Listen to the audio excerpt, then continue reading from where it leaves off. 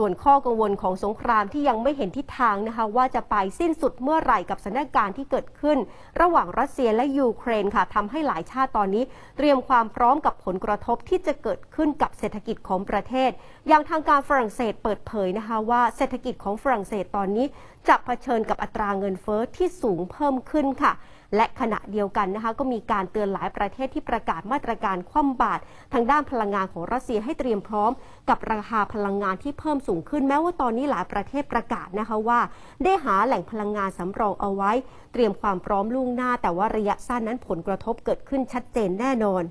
ขณะเดียวกันค่ะโฆษกทำเนียบเครมลินดมิทรีเปสคอฟเปิดเผยว่า จะไม่มีการเปลี่ยนแปลงกำหนดเวลาสำหรับการให้บริษัทต่างชาติชำระค่าก๊าซเป็นสกุลเงินรูเบิลหลังจากที่อังกฤษตัดสินใจ ออกใบอนุญาตให้ธนาคารก๊าซพรอมแบงก์ตลอดจนบริษัทในเครือ สามารถรับการชำระเงินต่างๆ ได้จนถึงสิ้นเดือนพฤษภาคมนี้ แม้ว่าทางธนาคารจะถูกอังกฤษคว่ำบาตรก็ตามเพื่อให้แน่ใจว่า จะมีอุปทานก๊าซไปยังสหภาพยุโรปได้อย่างเพียงพอโดยประธานาธิบดีปูติน ผู้นำของรัสเซียค่ะได้ประกาศกำหนดเวลาชำระ ค่าก๊าซเป็นเงินรูเบิลไปแล้ว ในช่วงสิ้นเดือนมีนาคมที่ผ่านมา เพราะฉะนั้นจะไม่มีการเปลี่ยนแปลง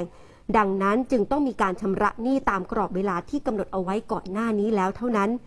นอกจากนี้ยังระบุได้ว่ายังคงมีเวลาสำหรับประเทศที่ไม่เป็นมิตรกับรัสเซีย ในการเปลี่ยนวิธีการชำระค่าก๊าซเป็นสกุลเงินรูเบิล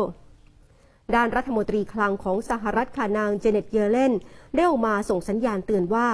มาตรการห้ามนำเข้าน้ำมันและก๊าซธรรมชาติจากรัสเซียของสหภาพยุโรปหรือว่า EU อาจจะส่งผลกระทบต่อเศรษฐกิจของสหรัฐ และชาติพันธมิตรยุโรปอย่างที่ไม่ได้ตั้งใจ โดยที่ผ่านมาสหรัฐนั้น พยายามที่จะกดดันชาติยุโรปให้ยุติการพึ่งพาน้ำมันและก๊าซจากรัสเซีย หลังจากที่รัสเซียได้บุกเข้าไปในยูเครนตั้งแต่ 24 กุมภาพันธ์ ซึ่งมาตรการคว่ำบาตรด้านพลังงานของรัสเซียนั้น อาจจะส่งผลร้ายมากกว่าผลดี แต่ว่ายุโรปยังจำเป็นต้องลดการพึ่งพาพลังงานของรัสเซีย แล้วต้องดำเนินการอย่างระมัดระวัง เมื่อคิดเกี่ยวกับการห้ามนำเข้าน้ำมันอย่างสิ้นเชิงของยุโรป และการห้ามนำเข้าพลังงานของยุโรปดังกล่าว จะทำให้ราคาน้ำมันโลกเพิ่มสูงขึ้น และอาจจะสร้างผลกระทบต่อรัสเซียน้อยมาก เพราะแม้รัสเซียนั้นจะส่งออกน้ำมันได้น้อยลง แต่ก็ถูกชดเชยด้วยราคาของน้ำมันที่สูงขึ้นในตลาดโลกนั่นเอง นอกจากนี้เยเลนยังกล่าวได้ว่า IMF และธนาคารโลก ยังไม่มีแผนการจัดวิกฤตการณ์ด้านต่างๆ ที่โลกกำลังเผชิญ รวมไปถึงวิกฤตสงครามระหว่างรัสเซียและยูเครน รวมไปถึงประเด็นการระบาดของโควิด -19 โดยขณะนี้โลกกำลังเผชิญกับความท้าทาย ในระดับที่สถาบันระหว่างประเทศไม่สามารถจัดการได้ เหมือนอย่างกรณีเรื่องของสภาพอากาศที่เปลี่ยนแปลงอย่างรวดเร็ว ส่วนรัฐมนตรีคลังของฝรั่งเศสค่ะบรูโน่เลอแมเปิดเผยว่าฝรั่งเศสและประเทศหุ้นส่วนกำลังเข้าสู่ยุคของเงินเฟอ้อสูง โดยคาดว่าอัตราเงินเฟอ้อจะยังคงสูงอย่างต่อเนื่องในปีนี้ แต่ว่าจะลดลงอย่างมากในปีหน้า จากการบริหารจัดการให้อุปสงค์และอุปทานในภาคพลังงานเกิดความสมดุล